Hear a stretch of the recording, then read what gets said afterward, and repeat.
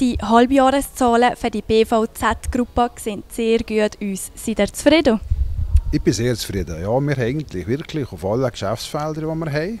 Das ist aber der öffentliche Verkehr, die Matter- und Gotterbahn mit ihren Produkten, also der Glasse Express und äh, der Regionalverkehr, aber auch der Gornergrad, die Gornergradbahn und natürlich die Immobilien und die Beteiligung. Wir haben auf allen Geschäftsfeldern den Ertrag steigern und die Kästen im Griff und dann gibt es automatisch ein gutes Resultat. Ich bin also sehr zufrieden. Ja. Seit Jahren sind Aktien von der BVZ Holding sehr gut unterwegs. Verratet er nicht auch ein Geheimnis? Ja, ich glaube, stabile Erträge, äh, nicht, nicht grosse Schwankungen. Äh, ja, das ist so. Die letzten Jahre, seit 2012, ist die Aktie etwa verdreifacht. Ist im Moment sehr gut unterwegs, ist aber immer noch nicht überbewertet. Also ist nach wie vor ein, ein guter Tipp. Aber äh, das Geheimnis ist, äh, solide Erträge bringen, den Ertrag probieren zu steigern, Käste im Griff haben. Und äh, ja, das ist das Geheimnis von der Aktie von der BVZ Holding. Zum guten Ergebnis trägt euch vor allem die Gurnergradbahn bei. Ist da der Top of the Mountain äh, schon erreicht oder geht da noch mehr? Ja, ich glaube, wir, wir haben ja da auch äh, differenzierte Preise, dass man nicht der, der, der, die, die äh, wahnsinnige viel Leid alle zur gleichen Zeit, sondern wir stellen länger mehr fest mit der Gornergrabahn, dass wir fast keine Zwischensaison mehr haben, das ist schön. Und dass wir vor allem im Mai, äh, April, in diesen Monaten oder im November eine gute Auslastung haben. Und da geht noch mehr, weil äh, ich glaube, länger mehr kann man von einer ganzjahresdestination reden, das ganze Jahr Saison und das ist der, der, das Geheimnis. Und da sicher, in der Zwischensaison hat es noch mehr Potenzial. Aber äh, ja, es wird, es wird ganz sicher noch aufwärts gehen, über die Zeit. Ihr habt seit letztem Jahr euren Excellent Class im Angebot. Wie kommt die bei den Leuten an? Ich darf wirklich sagen, die Excellent Class das ist, das ist wirklich ein super Produkt. Äh, wir haben schöne Leistungen. Ich darf immer sagen, es ist eine, eine, eine Kreuzfahrt durch die Alpen äh, in schönster Umgebung und, und ein sehr gutes, äh, wunderbares Rollmaterial mit dem Produkt, das wir haben, eben Essen inbegriffen, wirklich ein Concierge, der die Reise von A bis Z begleitet.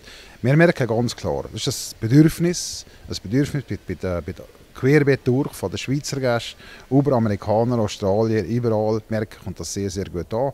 Und äh, ich bin sehr zufrieden, wie das gestartet ist und das wird noch ein, ein, ein grosses Potenzial haben.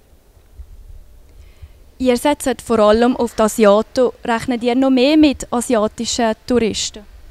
Wie vorher gesagt, äh, also vor allem in der Zwischensaison, äh, wo wir ja nicht so Ferien haben, eben Oktober oder eben äh, im April und im Mai äh, ist ein grosses Potenzial noch da.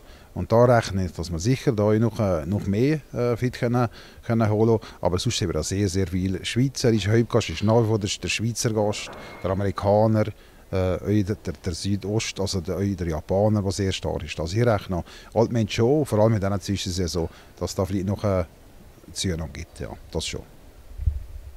Was stehen für nächste grosse Projekte an?